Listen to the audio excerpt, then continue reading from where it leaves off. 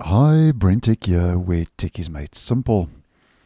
So, a couple of days ago, I let you know that Microsoft Edge is going to be enhancing the PWA installation process with a new drop down flyout menu and also with a new install prompt.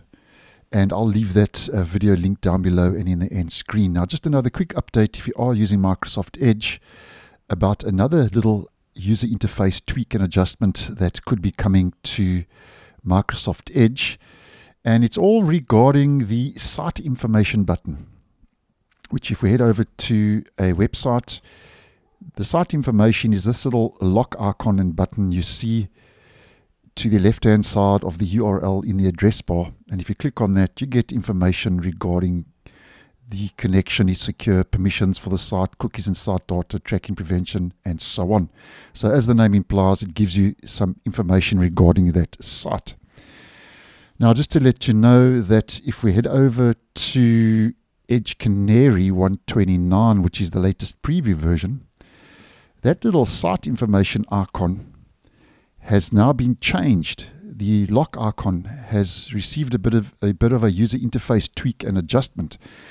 Now, I have taken a screenshot before posting just to give you a better idea because it's quite small for the purpose of the video in real time.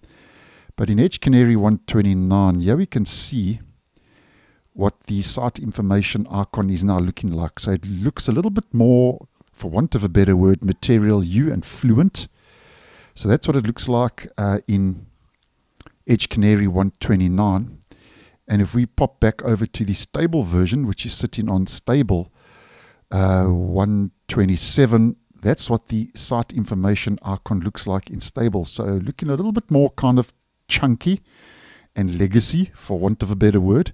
So that's the small little change that could be coming. Nothing major to really write home about, but I thought if you are using the browser, just to follow on from that previous user interface uh, little tweak and adjustment, um, the site information icon now seems to be getting an upgrade and I don't see why it wouldn't roll out to the stable.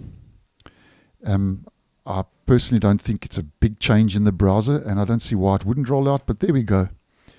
Your site information icon should be getting an upgrade in an upcoming stable release. So thanks for watching and I'll see you in the next one.